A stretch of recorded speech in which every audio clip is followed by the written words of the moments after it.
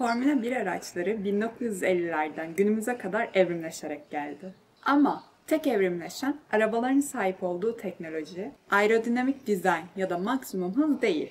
Direksiyonlar da evrimleşti ve değişti. Üstünde onlarca düğme ve ayarla uçak kokpiti gibi karman çorman bir şeye dönüştü. Ama sanmayın ki direksiyonlar hep böyleydi. Şimdi biraz Formula 1 arabaların direksiyonlarına, tarihine, üzerindeki tuşların ne işe yaradığına ve farklılıklarına bakalım.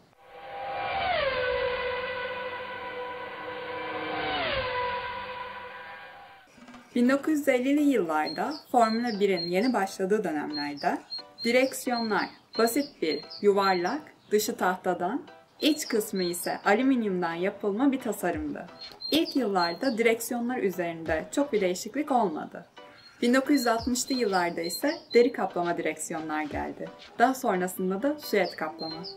Ancak 1970'li yılların sonuna kadar hep aynı direksiyon tasarımı kullanıldı. 1978 yılında ilk kez McLaren ile yarışan James Hunt, Electronic Switch'li direksiyonu kullandı. Fittipaldi ise günümüzde de olan ilk hızlı sökülüp takılabilen direksiyona sahipti. 30 yıla yakın direksiyonlar yuvarlaktı. 80'li yılların sonunda ise yavaş yavaş şekil değiştirmeye başladı. 90'lı yıllarda ise düğmeli direksiyonlar boy göstermeye başladı. Senna'nın direksiyonda da birkaç farklı düğme görebiliriz. Ve asıl yeni tasarımların öncüsü Schumacher diyebiliriz. Kendisi Formula 1 direksiyon tasarımına çokça yenilik getirdi. 1995'te Schumacher'in direksiyonun üstünde Casio marka küçük bir ekran bile vardı. Hatta vites değiştirmek için kol da konulmuştu. 96 yılında da direksiyonun üstüne vites ışıkları ve elden debriyaj kolu eklendi. 2000 yılında ilk dijital ekranlar kullanılmaya başlandı. Artık direksiyonun üzerinde motor haritası, frenleme oranı, diferansiyel ayarları, radyo, çekiş kontrolü, pit hızı sabitleyici ve yağmur farları için ayarlar ve düğmeler bulunuyordu. 2002'de Raikkonen ilk karbon fiber direksiyonu kullandı.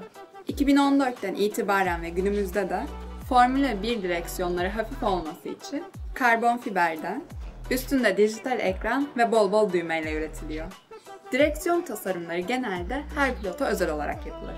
El şekline ve büyüklüğüne en uygun tasarım yapılır. Özellikle yandaki tutmaçlar pilotun direksiyonu kavrayabilmesi için ve ergonomik açıdan çok önemli. Ve vites kolları da pilotun isteği üzerine dizayn edilir. Bu nedenle her takıma ait, hatta her pilota ait farklı bir tasarım bulmak mümkün. Vettel ve Leclerc de Ferrari'de farklı direksiyon tasarımlarını kullanıyor.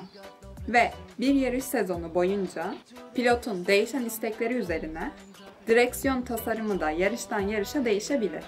Şu anki direksiyonların üzerinde toplamda 25 adet kol düğmesiyle debriyaj ve vites kolları bulunuyor.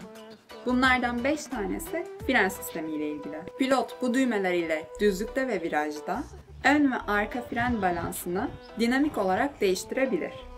Düğmelerden 3 tanesi diferansiyel ayarı için. Bu düğmeler viraj girişi, apex ve viraj çıkışındaki arka tekerlere giden torku ayarlamak için.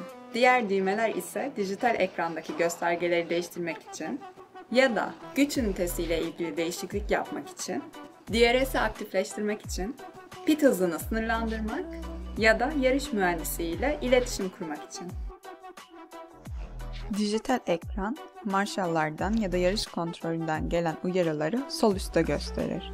Sarı, mavi, yeşil, kırmızı gibi renklerde. Üst kısımda ise vites değiştirmek için pilotu uyaran ışıklar var. PC yani Pit Confirm, pit ekibine pite geliyor olduğunu haber etmek için kullanılır. PR, Pit Lane, aracı pitte geçerli olan hıza limitler. Boş vites. Bu düğme aracı boşa alır. DRS, arka kanatta bulunan DRS sistemini aktive eder. Entry, viraj girişinde diferansiyel modunu ayarlar. High Speed, yüksek hız virajları için diferansiyel ayarıdır. Strut en çok kullanılan ayar. Çünkü bu tuş güç ünitesi modlarını değiştirmek için. Yarış sırasında yakıt tasarrufu yapılmak istenebilir ya da bazı yerlerde güç artırımı istenebilir. Strat 1, en agresif diferansiyeli ve maksimum beygir gücünü verirken Strat 8 daha pasif bir sürüş sağlıyor. Menü, dijital ekran parlaklığı, telsiz sesi gibi ayarları kontrol eder. Virajda diferansiyeli ayarlar. RS, Race Start, arabayı yarış başlangıcı için en yüksek güçte maksimum power olarak ayarlar. B-MIG motor freni oranını ayarlar. Diff 1, arka tekerlerdeki diferansiyel tork transferi ayarıdır. Accept, ekrandaki kontrolü seçmek için, Enter tuşu gibi. BB- fren oranını %0.5 arkaya aktarırken BB fren oranını %0.5 öne aktarır. Virajda diferansiyel ayarı. B-Bal fren balansı için BB- ve BB Plus'tan daha büyük değişiklikler yapar. Artı 1 ve artı 10 ekranda seçili parametreyi değiştirir. Sol elcik vites düşürmek için, sağ elcik vites arttırmak için. Alttaki elcik ise debriyaj. Eskiden iki koldan oluşuyordu. Bir tanesi sadece başlangıç çizgisinde yarışa başlarken kullanılıyordu. Yani yarış başında bu kolun ne kadar önemli olduğunu söylememe gerek yok. Yarışa geç başlamak, bir saniyeden kısa bile kaybetmek, birkaç sıra geriye düşmeye bile neden olabilir. Debriyaj otomatik olduğu için 2016 yılından sonra FIA tek debriyaj kolu yapılması kararı aldı. Tabi bu yıllarda Hamilton sürekli kötü başlangıçlar yapmaya başladı. 2016 yılından Rosberg'le olan savaşını ve birkaç geç kalkışını hemen hatırlayalım.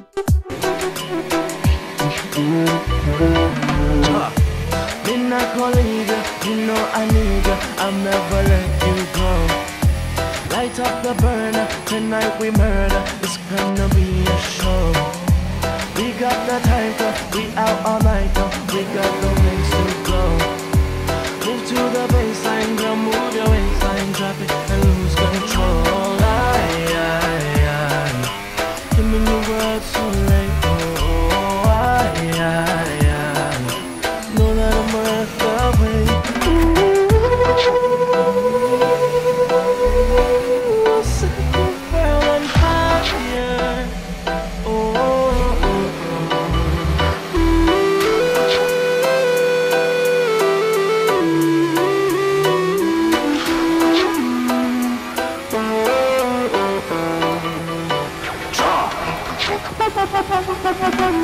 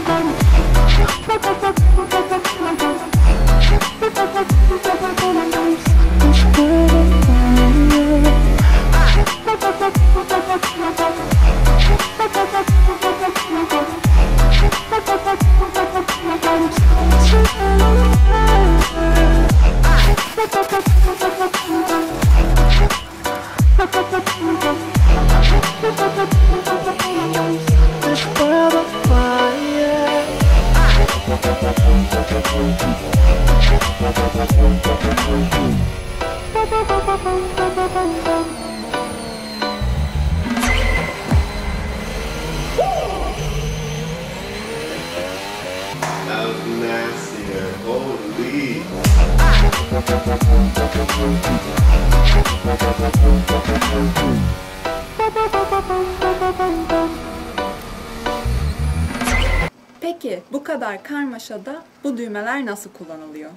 Yarış sırasında yüksek hızdan, asfalt pürüzlülüğünden ve pist kenarındaki körblerden direksiyona çok fazla titreşim iletiliyor.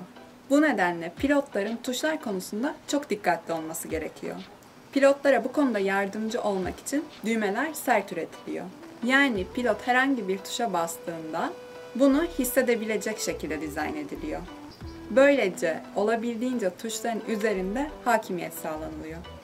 Yarış sırasında pilotların en çok kullandığı kontroller manevralar için direksiyonun kendisi ve de vites değişimi. Yarış sırasında bir turda pilotlar vitesi ortalama 40 ile 50 kez değiştiriyor. Günümüz direksiyonları karbon fiberden üretiliyor demiştik. Karbon fibere ek olarak bazı kısımlarda fiberglass silikon, titanyum ve bakır kullanılıyor. Direksiyonu genel olarak devre parçaları, devre kartı, karbon fiber kollar, hızlı sökme parçası ve elektronik bağlantılar olarak ayırabiliriz. Bir direksiyon üretimi yani mekanik dizaynı, elektronik dizaynı ve kabloların döşenmesi Toplamda yaklaşık 80 saat sürüyor. Direksiyonun en önemli özelliklerinden biri direksiyon kolonunda bulunan çarpışma parçası. Kaza sırasında pilot kafasını direksiyona çarparsa 7 kilogram kask ve kafanın ağırlığı olsa 8 metre bölü saniye ile çarpsa ortalama 50-60. Yani 60 kiloluk bir kuvvet ile bu parça yay gibi sıkışıyor. Sizce de bu direksiyonlar çok mu karışık? Yoksa bir süre kullandıktan sonra siz de alışır mıydınız? Yorumlarınızı videonun altına bırakmayı unutmayın.